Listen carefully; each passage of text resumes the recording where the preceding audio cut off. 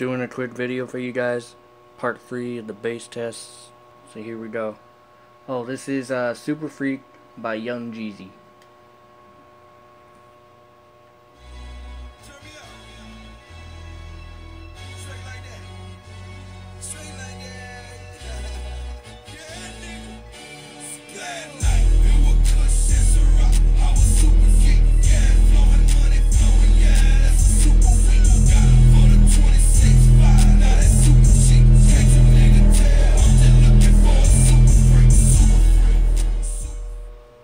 So yeah, uh, just doing a quick little video, just seeing what the bass would do. So yeah, um, uh, the reason why the bass is a lot louder, I don't know if the camera picked it up, but hopefully it did.